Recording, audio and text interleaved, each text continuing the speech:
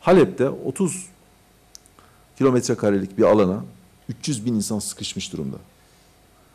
Eğer Birleşmiş Milletler bir şekilde orada ve ülkenin pek çok yerinde dileriz ki ülkenin genelinde bir ateşkes devreye sokmazsa büyük bir insani trajediyle karşı karşıya bulunacağız.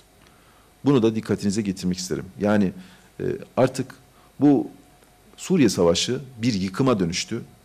E, insanlığın yüz karası oldu. Ve bu savaşa kim çanak tuttuysa, kim taraf olduysa tarih önünde bunlar da en aşağı şekilde yargılanacaktır. Çünkü bizim bu kadar çocuğun, insanın öldüğü bir ortamda hiçbir şey yapamamak, hiçbir şekilde bu kanı durduramamak bizim de gerçekten derin üzüntü duyduğumuz bir konu.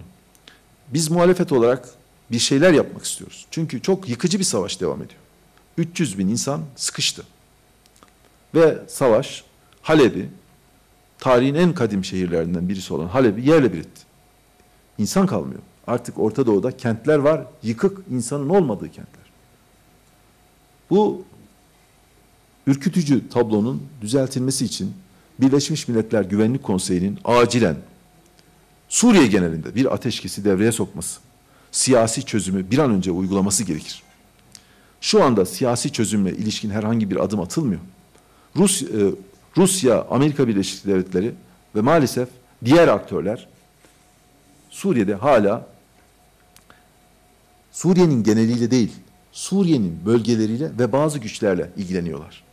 Artık bizim Suriye'nin geneliyle ve Suriye'deki akan kanın durmasıyla ilgili daha geniş kapsamlı bir stratejiye acilen ihtiyacımız var ve Birleşmiş Milletler Güvenlik Konseyi'nin burada öncülük etmesi gerekiyor. Uluslararası Suriye Destek Grubu iki eş başkanı Amerika ve Rusya Suriye konusunda ikisi de çuvalladı. Bu kadar insanın katledilmesi, bu savaşın bu kadar sürmesi gerçekten insanlık adına utanç verici bir durumdur. Bizim yanı başımızda oluyor bunlar. Ve her şey yıkılıyor. Kentler yıkılıyor, hayaller yıkılıyor, insanlar yıkılıyor. Ve buna bir an önce son vermek için Güvenlik Konseyi'nin bir kararı alıp Suriye geneli için yapamıyorsa en azından Halep için uygulaması lazım. Yoksa açlıktan ve susuzluktan insanlar ölecek. Çaresizlikten.